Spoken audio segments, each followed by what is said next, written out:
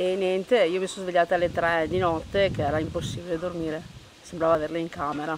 Musica ad alto volume fino alle prime ore del mattino di domenica.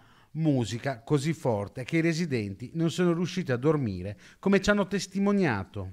A riportare la calma, i carabinieri che allertati dai cittadini sono intervenuti in un'area arginale a Cittadella lungo il Brenta, trovando un vero e proprio rave con tanto di musica techno sparata ad alto volume dalle casse. Una settantina i ragazzi presenti provenienti da tutte le province del Veneto da Vicenza a Venezia, da Treviso a Rovigo, con un'età compresa tra i 18 e i 30 anni, arrivati lì, sulle rive del fiume, grazie al passaparola che caratterizza questi eventi. Sono 54 i denunciati, anche se chi vive nelle zone limitrofe alla festa assicura che le persone erano molte di più.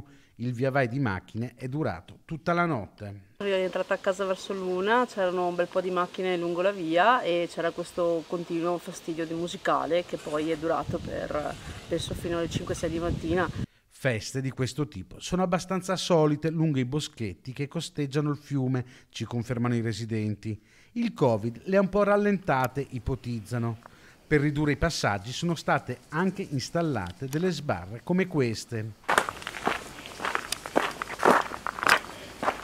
Qualche passo e si arriva alla festa con musica ad alto volume che rende le notti di chi in questi luoghi vive impossibili.